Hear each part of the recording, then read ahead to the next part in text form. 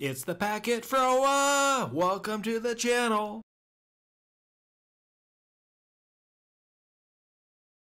In this video, we're going to have a look at Terraform and use it to build out a somewhat complicated cloud infrastructure by setting up the networking. What we're going to do is we are going to have a few virtual machines here. And our goal is to set up transit gateway networking such that our Cisco CSR router provides internet access. And then we're going to set up some VPN connectivity so that my LAN can reach the virtual machines. So it should be a lot of fun. So specifically the different components that we have here is we have our virtual machines, which is basically just going to be some Linux hosts. And then we're going to have to create our own route tables for each one of the networks and tie that over to uh, VPC to hold all our networking. Then we are going to wrap all these together with what's called a transit gateway. And this is going to handle all our routing so that we can set our default route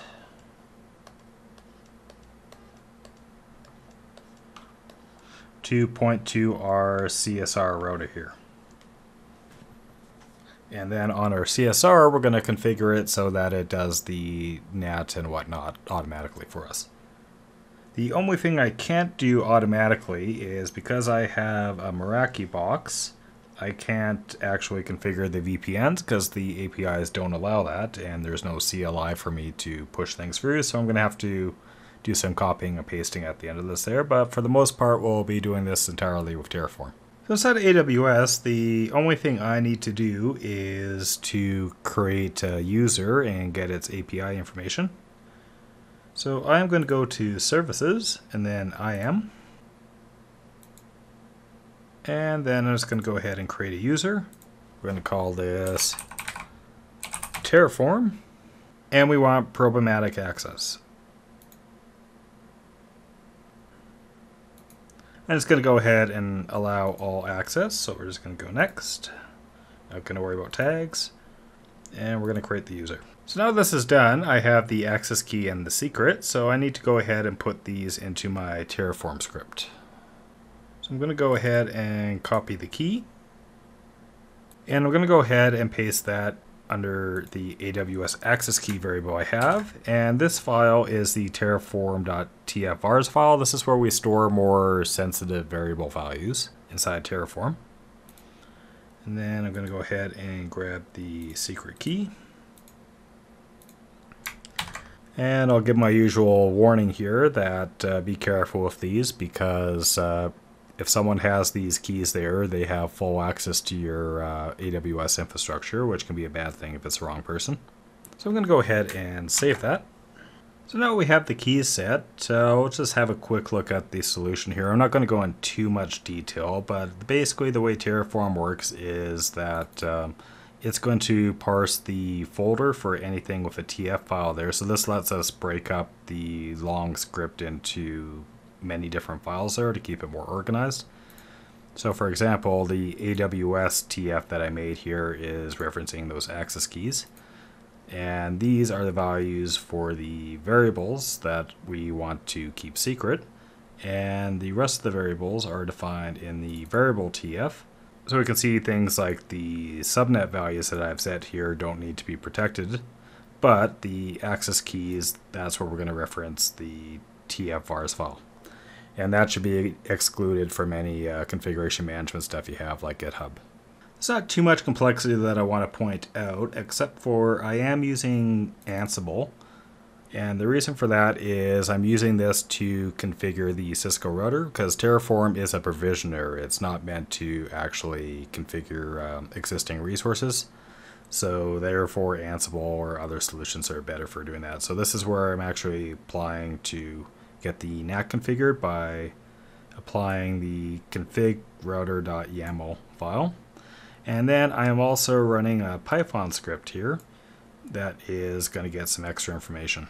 So the config router is simply pushing some configuration there and you can see that I'm just pushing some NAT configuration and making sure the interfaces are enabled as well as making sure that I have some static routes Because one thing to keep in mind with AWS there is it doesn't necessarily support multicast routing, so that static routes are the better way to go in most situations. They are starting to roll that out a little bit, but static routes is probably the best way forward for quite a while. And then if we look at the Meraki Python script, basically what I'm doing here is I am parsing the VPN uh, configuration file that AWS gets, which is an XML file and just sharing the uh, pre-shared keys so that I can output it at the end. And then lastly, we have the output, which is just going to give me that VPN information there. And this is so I can copy that and paste that into my Meraki to complete the VPN. So with all that out of the way, let's just go ahead and run this. So I'm just going to type terraform apply. And this is going to read all the TF files there and come up with a plan. So we can see here, it's just going to say these all, or these various resources are all going to be created. And if we look at my AWS, we can see I have no running instances or anything like that. So I'm going to go ahead and say yes. By the way, you can do dash auto dash approve if you don't want to be prompted. And this is going to run for several minutes, so I'm going to go ahead and pause the video here and then we'll have a look at what we did afterwards. Okay, that ran for about 10 minutes and we can see here that we've added 69 resources. So if I scroll through it here, we got quite a lot of output of all the different stuff that's being created here. So for example, we can see the VPCs being created.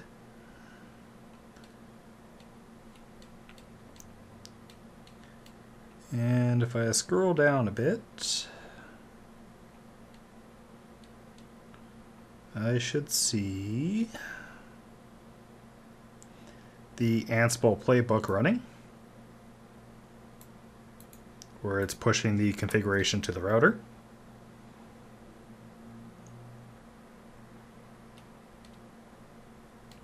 And then at the very end, the outputs is being displayed for me there so we can see that the IP address of the CSR router I created because it is dynamic and I wouldn't know otherwise.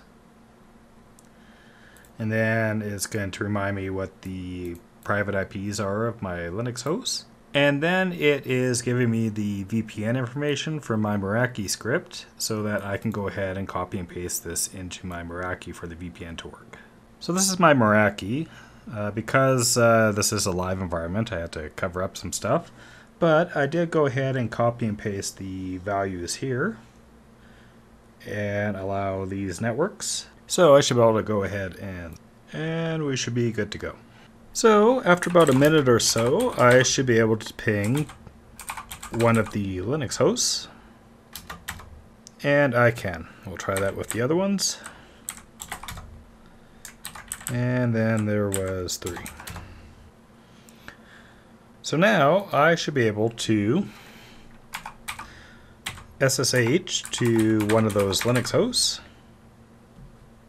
And we are using public key authentication.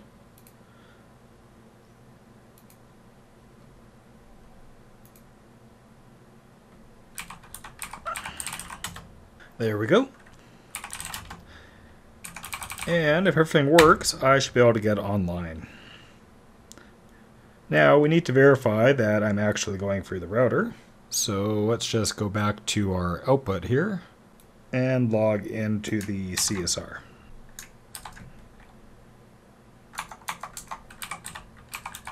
So the easiest way to verify this would be simply to check NAT, and we can see that we are indeed NATing our internet traffic.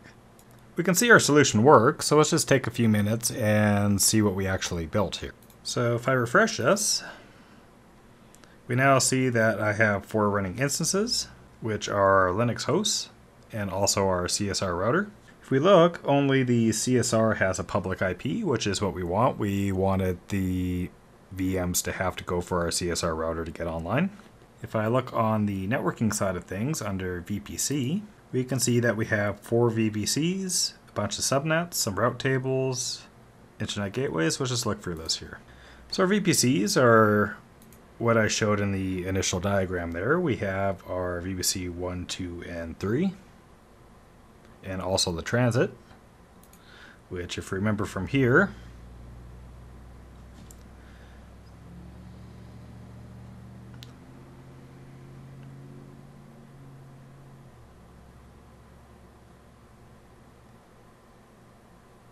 It shall pick a different color here, but if you remember from here, we have VPC 1, 2, 3, and transit. And then each one will need a route table, which we have here. We have our route tables that I pointed out, and also one for the internet. And then these are associated with uh, various gateways there, so they don't necessarily need a name. In order for the uh, CSR to get on the internet, we need an internet gateway, so we have that there. And then, like I mentioned, everything will connect to the transit gateway. And we don't need to get into the nitty gritty here, but there is a routing table associated. And we can see that this is the default route I was talking about, which points towards the transit VPC where our CSR router is. So this is just a quick example how something like Terraform can make it easy to build your cloud um, infrastructure or any other infrastructure, and this is why infrastructure as code is becoming very popular. Now because everything in the cloud costs money there, to get rid of it we can just do terraform destroy and I can add that dash auto dash approve so it's not going to ask me about it. This is going to go through and delete all the resources created there. So after a couple minutes, my account will be uh, back to not uh, causing any billing issues. Well, with that, uh, I hope you enjoyed watching. I'll see you next time.